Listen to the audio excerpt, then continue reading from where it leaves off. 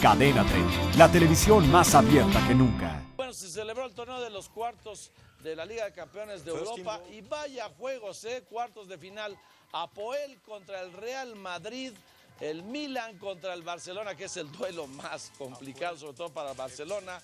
Benfica contra el Chelsea y el Olympique de Marsella contra el Bayern Múnich. Así es que ahí están los duelos. Así, así quedarían. Y bueno, pues este, vamos a ver cómo se resuelven estos partidos que son los partidos de cuartos de final. Vamos a ver qué es lo que pasa en este tema. Ahí está el sorteo. Cadena 30, la televisión más abierta que nunca.